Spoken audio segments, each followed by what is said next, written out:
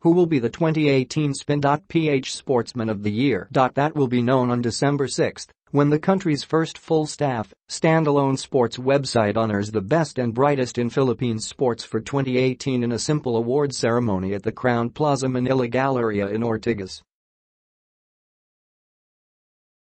Asian Games gold medalists Hidilyn Diaz, Yuka Saso and Margielyn Didal, Team Pilipinas coach Yeng Guiao, the NU Lady Bulldogs basketball team, and soon-to-be five-time PBA MVP June Mar Fajardo are among those set to be honored for a place among spin.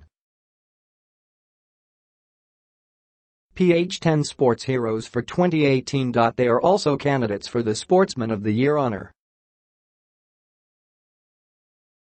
Previous winners of the award are former Gilas Pilipinas coach Chot Reyes, 2013, Former Gilas captain Jimmy Alapag, 2014, PBA star Calvin Abueva, 2015, Olympic silver medalist Diaz, 2016, and four-time PBA MVP June Mar Fajardo, 2017.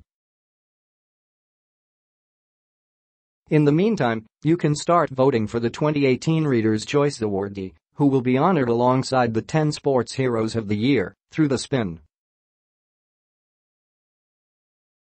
PH Sportsman of the Year microsite. This year's nominees are Justin Brownlee, who won a championship each with Ginebra and Alab Pilipinas, the Philippine Azkals, San Beda star Robert Bolick, Lyceum's CJ Perez, and ABL champion Alab Pilipinas,